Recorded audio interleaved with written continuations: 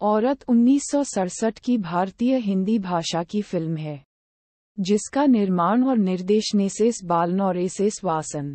यह 1966 की तमिल फ़िल्म चिट्ठी का रीमेक है।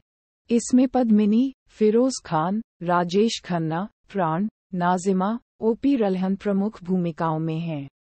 साथ ही सहायक भूमिकाओं में कन्हैयालाल, डेविड, ललिता पवार, लीला चिटनिस हेम फ़िल्म का संगीत रवि ये फ़िल्म पूरी तरह से पार्वती के जीवन के किरदार के इर्द गिर्द घूमती है। पार्वती, पद्मिनी, आठ बच्चों वाले परिवार की बड़ी बेटी है जो अपने घर की मुख्य कमाने वाली है।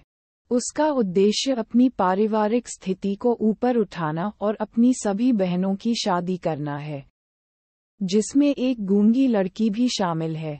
इसलिए वह अपना पूरा जीवन लगा देती है और अपने भाई सुरेश राजेश खन्ना, को शिक्षित करने और उसे डॉक्टर बनाने के लिए कड़ी मेहनत करती है ताकि वह उसकी मदद कर सके।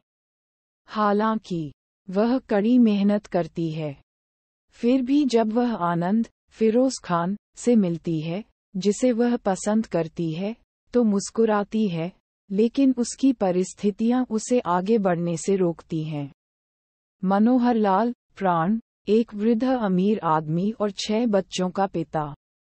दोबारा शादी करना चाहता है और दुल्हन की तलाश करता है और पार्वती पर नज़र रखता है।